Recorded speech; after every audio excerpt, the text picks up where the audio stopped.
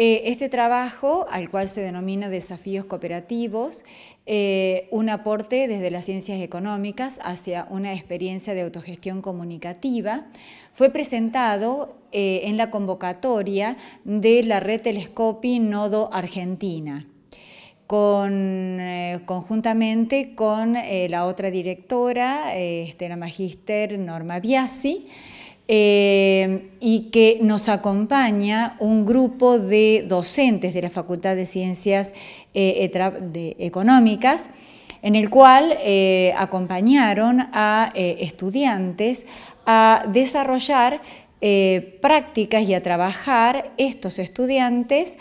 eh, en esta eh, cooperativa. Trabajaron con la cooperativa Al Toque. Exactamente, trabajamos con la cooperativa de trabajo Al Toque y bueno, con la grata sorpresa que eh, de un total de 19 universidades de carácter internacional que integra la red Telescopia en Nodo Argentina y universidades de nuestro país,